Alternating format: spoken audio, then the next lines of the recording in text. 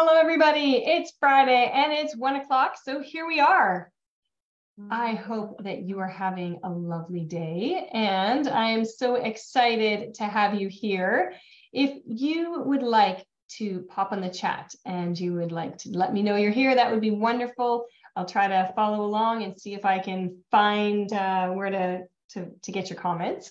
And uh, if I don't answer your questions right away, know that it's not because I don't care, it's just because I have trouble doing all the things at once.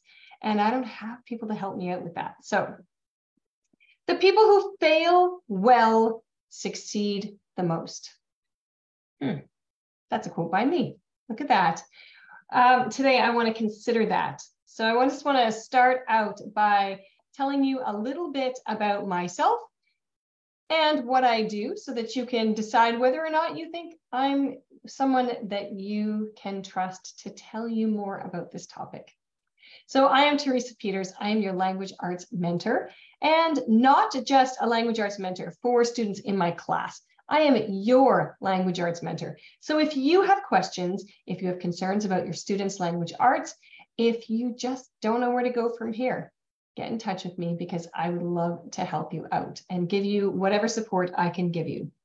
And I mentor grade 5 to 12 students in language arts and all kinds of language arts skills. I take them by the hand and I work with them on their writing skills, their critical thinking skills, their success mindset skills, so that they can become self confident, self disciplined critical thinkers, persuasive speakers, and writers and all of those things help them to succeed in life. So today, I just want to start with a quote by John C. Maxwell. He is considered to be the number one leadership authority in the world by many people. And he's a number one New York Times bestselling author with more than 24 million books in 50 different languages. So if that's success, then what he has to say might be important he says, fail early, fail often, but always fail forward.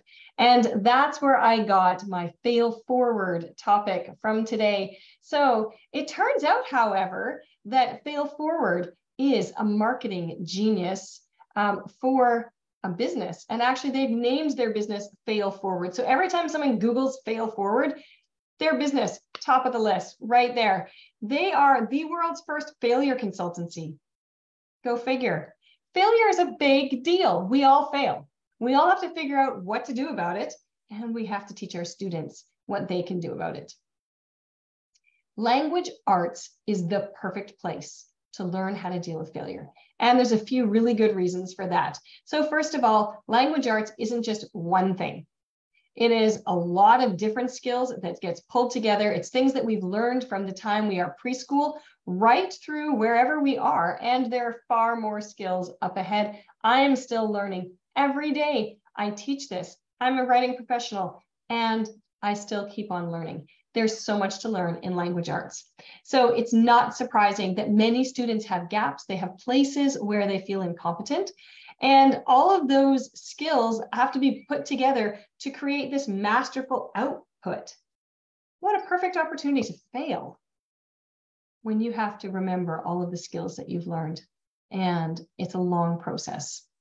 So, reading or writing or any of the language arts things that we do, any of the output that we're coming to expect, probably a student struggles with at least one part of it or they hate or dislike at least one other part, or maybe the entire process. So they have to push through some really hard things. They have to do hard things. They have to challenge their fears. They have to challenge their insecurities. And they're going to feel incompetent or maybe dislike the entire process. So, language arts is the perfect opportunity for students to learn how to dream big, how to push through and do hard things. So the way I use language arts is to help students dream big. So I ask them, what are your goals in life? Like, where, where do you plan on going? And most of them really don't have a plan. They're not really sure at all. And so they they don't know where they want to go. They are kind of afraid to dream, it seems, young people of this generation. And so I help them to set goals, things that they care about. Well, then you know, if the best you can come up with is you want to own a red Ferrari, then let's figure out what you need to do that. If you're going to own a, a fancy car, then I think you probably need a good income. Um, you're not going to just want the fancy car. You're going to want the nice clothes. You're going to want the nice house. You're going to want all the things. And very often, materialism is the first thing young people think of as success because it's very measurable. It's very easy to assess that. But then I take it back a step and I say, in order to have a job that's going to help you gain all those things at an income level that's going to allow you to have that life that you're dreaming of. What skills does a successful person have?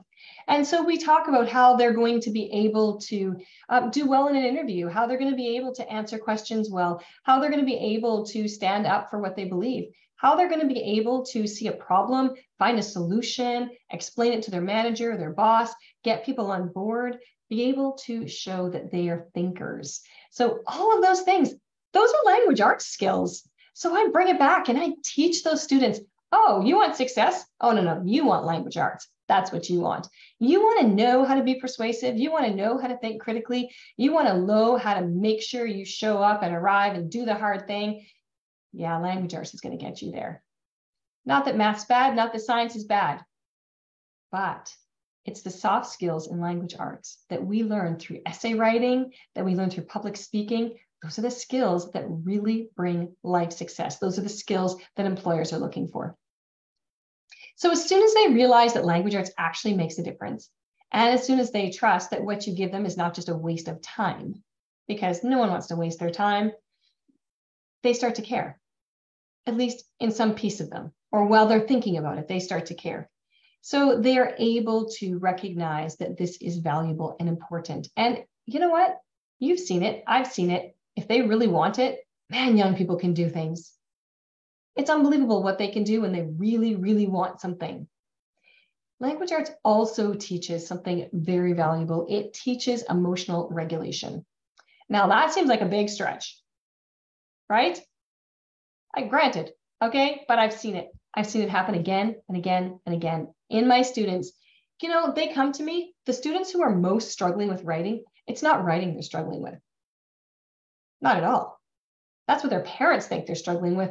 Maybe they think that's what they're struggling with too. But what it comes down to is they're afraid. They're afraid of failing. They're afraid of people making fun of them. They're afraid of not measuring up. This is about fear. This is emotional regulation. This is about self talk. This is about learning how to face something and do something we're really afraid of doing. If that's not a life success skill, I don't know what is. So, young people really need to learn how to do those hard things, how to face their fears and look them in the face and say, you know what? Yeah, okay, I feel that way. That's not going to stop me.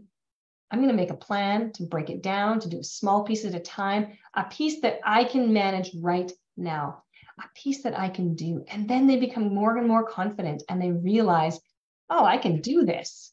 This isn't that hard and I can succeed. And when they learn that writing is a process and it's not about the output, it's not about perfection from the get go. It's about improving from the get go, just like success mindset. It's about improving me a little bit at a time. It's about improving my choices and my decisions a little bit at a time. It's exactly the same in writing.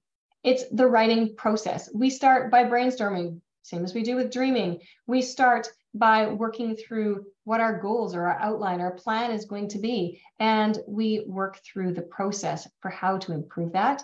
And then tweak it a little bit more and improve it, and tweak it a little bit more and improve it. We throw some words on the page and we have to deal with the fear that, oh no, these words might not be good enough. That's okay. We fix them after. It's no problem. We put it on the page. It's not failure that it's not perfect. Wow. If some of us could learn as adults that it's not failure not to be perfect, imagine what we could teach our kids. So, through self talk, through planning, through time management, through um, anxiety management techniques that I have experience with, I've been able to help so many students be able to face down those fears and to be able to change the way they look at things, to change the way they look at failure. So, as parents, we are the best example to our kids. How are we doing? How are we doing with failure? How are we doing on those hard days when things just feel like they're falling apart? I know they happen. I know they do. I have those days too. I have them regularly. You have them regularly. Maybe you have days when your young person is struggling. They are fighting you, they're arguing, they're melting down, they're crying, they're refusing to write, they're refusing to do their math. Whatever it is, it doesn't matter what subject. Those things are not just one thing. It's not just rebellion. It's not, you know, we can't just label it one thing. We're complex people. And you and I were complex people. How are you doing? How are you doing failing? How are you failing forward? How are you planning for success for five minutes from now when right this minute everything's falling apart? How are you planning for half an hour from now when right now you just lost it? We can be real. Who hasn't?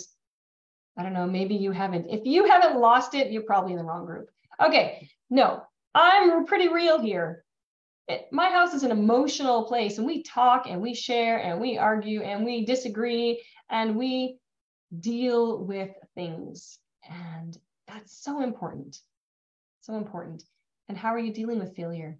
What's your next plan to succeed? How are you going to change now? How are you going to follow through and make a difference? How are you going to be an example to your student? So, do you want to know how I do it? Do you want to know what I do to make a difference in your student's life in 12 weeks? 12 weeks. No, I'm serious. 12 weeks makes the difference. In 12 weeks, they begin writing confidently. They begin seeing that they can make a difference in their life. 12 weeks, three months. Yeah, I know, seems impossible, but I've seen it again and again and again. And I want to invite you, if you want to know how to do this, how I do this, how you can do this, how I can do this for you if you need help.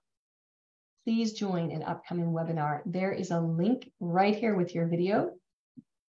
There are two in November, two in December. There will be more added as time goes by and as there is need. Um, this is the 12 weeks to writing confidence webinar. So what if you can't wait till November? No, man, I need to know now. I don't want to wait to November. I want to know now. I'm so excited. Okay, please go download my e-guide. If you have a few minutes to read it, it's not super long. It's going to explain to you why language arts matters, even though your student probably won't write an essay after they graduate their schooling. Why does language arts matter? And what difference is it going to make? And how you can use my process in your own homeschool. You can go to tutor.discerntolearn.com and the link will be right here as well. And you can download my ebook there but what if you've done that? What if you've already been, you know, you, you've already been around and you've been listening and you're thinking, man, I want to know more about this. I want to offer you a free student assessment. So you just book a call with me. There's a link there for my calendar. You send in a piece of writing. You have your student do um, an online uh, reading comprehension assessment. And I want to get together with you and just talk to you, just, you know, casually what are your students' needs? What are your concerns? We're going to look at the student assessment and we're going to see how they can be helped, what difference it can make for them. And we're going to go through the method that I use and how that will work for them. Um, you might um, check out and see, you know, is discern to learn for you? You know, maybe, maybe it's not. Okay, very honestly, I'm not a salesperson. That's not my gig. If I was a salesperson, I'd be in sales. I'm a mentor. What I really want to do is I want to mentor students and I want to come alongside them and I want to help them. I'm not going to take your student in my class if I don't think I can help them. If I don't think in 12 weeks I can change their success trajectory, this is the wrong class. So I'm going to be honest with you, and we're going to just talk a little bit about what the options are and maybe some other options for your students if Discern to Learn is not for you. If you want to learn more, if you want to get that assessment, if you want to talk to me about whether or not Discern to Learn is for you or how you can make a plan for yourself using my method, um, I would love to like lay that method out for you, just like it is in my ebook. but specifically for your student. So please do go ahead, book a call with me, and I will be more than happy to sit down and talk to you. I hope you have a lovely day. Thank you so much for joining me today. And parents, this is the time to fail forward. Don't be afraid of failure. Be afraid of not succeeding. I've got your back. Talk to you soon.